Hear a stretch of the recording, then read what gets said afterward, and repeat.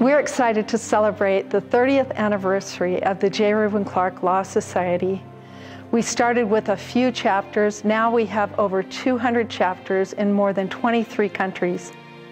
The mission statement of the society is, is inspired.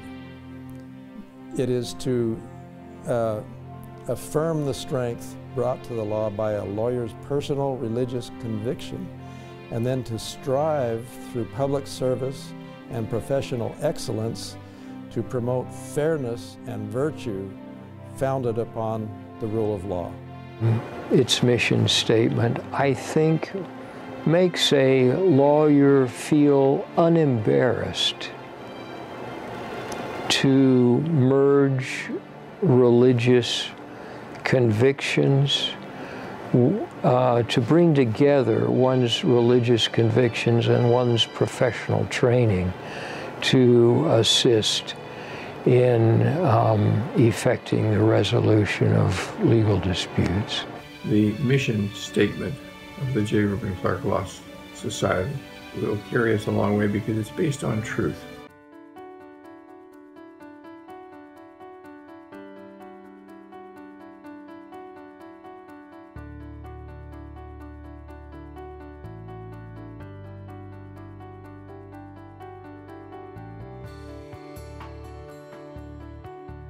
We identified uh, people in each of the major metropolitan areas of the U.S. and decided that uh, that I, as the dean, ought to go meet them and that maybe they could call a meeting of interested persons, even if it were only a, a tiny handful of people, some of their friends. When we talked about uh, an organization that kind of reflected what the BYU Law School was about, uh, with the name of J. Reuben Clark, that would attract the interest of LDS lawyers and those who shared their values people like that began to pop up. And they, they, I remember seeing them in Phoenix and Washington, D.C. Uh, they were all over the place. It was already a national organization. And to have that uh, association, uh, well, that was my version of what I think the Law Society became later on. I think we're celebrating the 30th year, and I was had the privilege of being present 30 years ago in Washington, D.C. at the Mayflower Hotel when uh, Rex Lee, Ralph Hardy, I believe Elder Jeff Holland, President Jeff Holland at the time, Bruce Hafen, and others of us gathered together. I can, I still have the program from that event.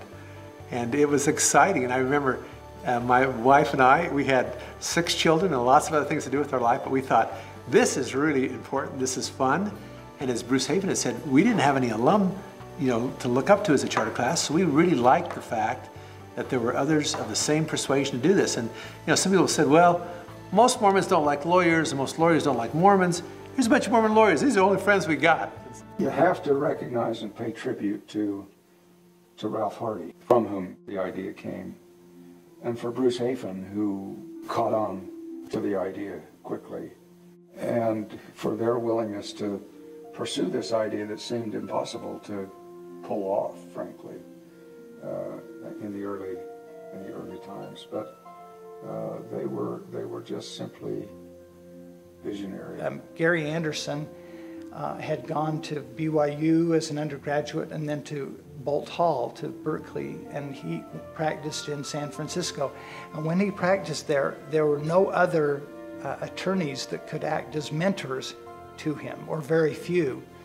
And especially those very few who were members of the Church of Jesus Christ of Latter day Saints who, with whom he could kind of bounce off ethical questions that he had or procedural questions, who could act as um, helpful to him as he became integrated with the bar.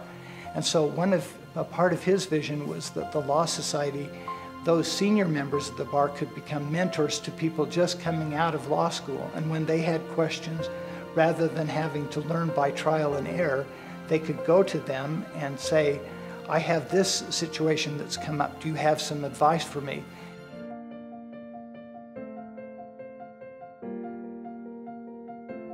I think that we can we can really take the Law Society to another level. And um, as I traveled home from DC to New York, I took the train and I sat on the train and I remember just as the countryside Delaware, New Jersey were going by, I typed out an email and I laid out all of these ideas of what I thought the Law Society could encompass and could become with the focus to be more than just a networking or a quasi-alumni or a, a, a, a, group of LDS Lawyers Association meeting once in a while to talk about common things and get some CLE, but how do we take the Law Society to something else? And that document, I still have it, I've saved that email, that was the almost the charter or the constitution of what I felt like I was involved in for the next four years. One of the great ideas that he thought about was to have a directory. I didn't know who to look for in Boise or in Portland, Oregon or in Los Angeles necessarily. And Bill said, well, let's put a, a directory together. And that was developed. That's been a great tool. Here we tried a, a conference involving uh, an invitation to all of the members of the J. Clark Law Society. And we had a, a, great response to that. It turned out really well.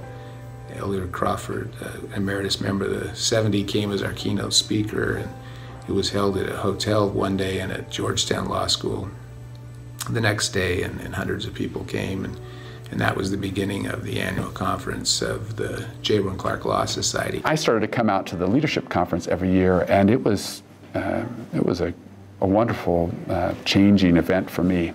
I got to meet people. I saw the vision of the Law Society, what it can be, and the influence that it can have, and to see the influence of the Law Society in the lives of lawyers, you know, all over the world was really remarkable, and uh, to be in common cause with all of them was was tremendous.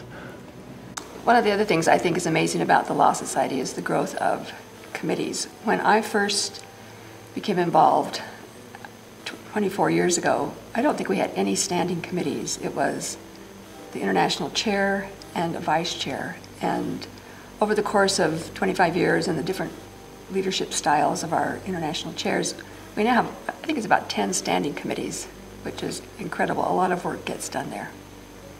And Gary was a natural at, uh, at uh, encouraging that type of activity, networking. And so he made it a point to, to know the law firms, the government agencies, the county attorneys, the U.S. attorneys. There, there are countless numbers of places where legal employment is available. And so, so Gary focused on those things and was able, I think, to give the Law Society a good start a good jumping off point to uh, provide employment to the BYU law graduates. My recollections about the start of women in law goes back to a leadership uh, conference years ago, and I believe it was Jeff Shields that came and talked to me about something they were doing in Orange County he, he said that they needed to bring their women into the Law Society more and more. A lot of us felt that if we're not practicing law, we don't belong here. Or we're trying to be in law and we don't have time for other things. But we found that women in law gave great support to women who were legally trained, whether they were practicing law, whether they had ever sat for the bar, let alone passed it. And Elizabeth Smith, I believe, was the one working in Orange County with Jeff uh, Shields, and they established a Women in Law organization. So women in, the, in Law um, events are not just for women. The ones that I attend in Salt Lake frequently are attended by men as well, but it's put on by Women in Law. The other event that they put on that is excellent is the pre-law event the night before, Wednesday night before the Thursday, Friday leadership conference. Women in Law also have a breakfast at the annual uh, conference each year. And we end up spending all of the time just going around having everybody introduce themselves and tell their story because that's so inspiring and educational to know different options and how it can be handled that also sets up that networking throughout the conference and beyond, that they have somebody that they can talk to and say, what you did is what I plan to do. Tell me how you did it and, and what the hard parts and what the easy parts and how to make it happen.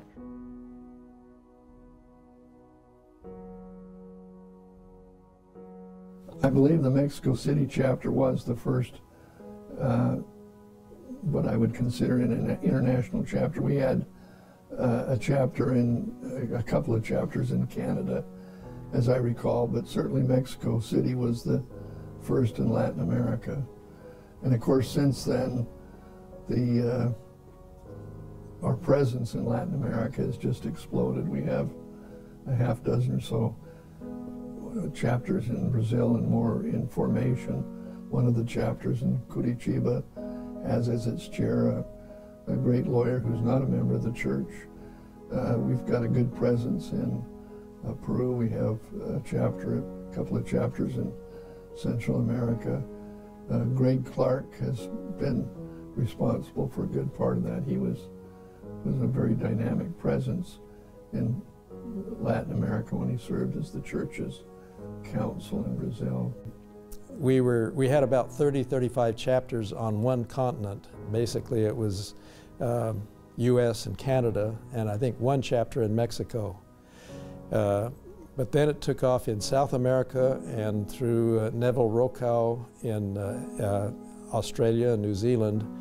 And uh, so the Peru chapter in South America was the first recipient of our Pro Bono Award for the good work that they had done in their community. The biggest accomplishments that I can point to are the growth internationally of the Law Society. Mexico just exploded. We had a wonderful uh, regional counsel in Mexico who was so excited to help the Law Society grow. And he would meet with different attorneys in different, all over Mexico, and they were excited to get together. They had no idea that there were other LDS attorneys. And then in January 2016, they invited me to come down and participate in the first Mexico Regional Conference. And again, it was several hundred attorneys who were be together, and they didn't know that there were so many other attorneys out there. Um, I also participated in the first uh, regional conference in London, and Charlotte Steinfeld chaired that, and that was a wonderful event. Elder Oaks came and spoke there. Um, Elder Oaks came and spoke at the, the Mexico Regional Conference. So the, the brethren have been very supportive of the Law Society. Where we were in London, meeting in the Hyde Park Chapel, and we had lawyers from Scotland who rode the train all day to get there to this meeting because they heard about this meeting of lawyers who were members of the church and they didn't know there was anybody but them who was a lawyer and a member of the church and so they traveled all day to get there.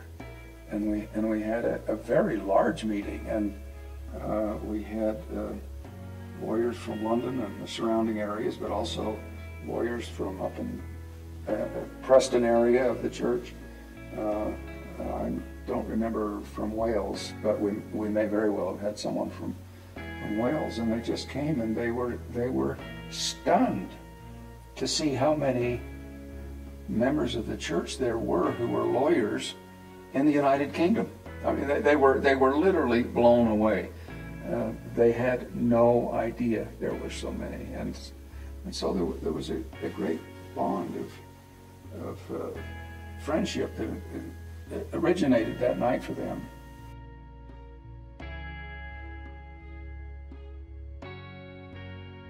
One of the things I was proudest of was it was nothing I did, but I was smart enough to say to Doug Bush and Nancy Van Sloten, you've got a great idea to do student chapters.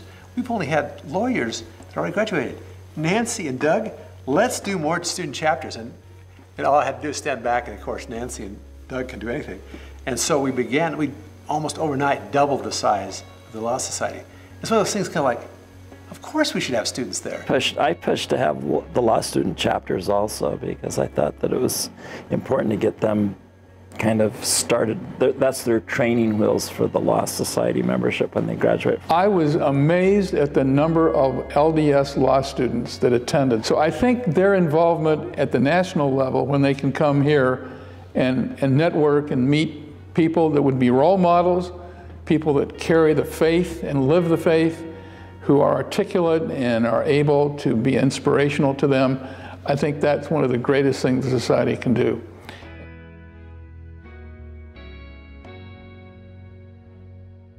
thought, wow, there is a way to integrate my professional life and my personal life together, but there's a way to give expression to that. I can, there's an outlet, there's an organization that through um, promoting pro bono service or religious liberty or just being a good person as a lawyer and bringing to the law one's religious conviction. There's a way to bridge that, and it's the J. Reuben Clark Law Society. One of the great blessings of my life has been working with the Clark Memorandum.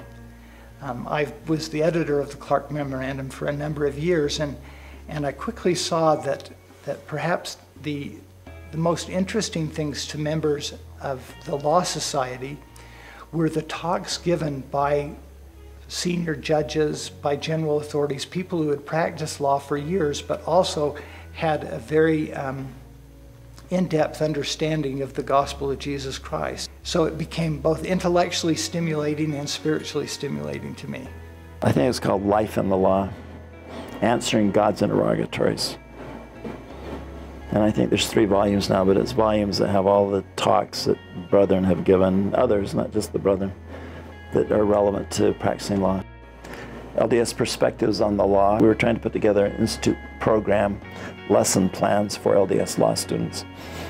Uh, and we have about, I think there's 15 or 16 there. I've had the opportunity to interact with members of the Law Society who to this day chair pro bono, their, the pro bono undertakings and work with them uh, for the assistance of refugees and others who, whom we're trying, trying to serve.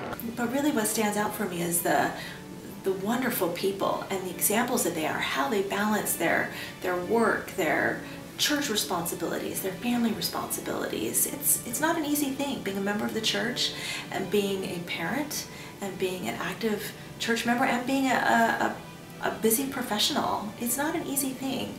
Um, and, and, for me, I'm a stay-at-home mom and have been for the past 10 years.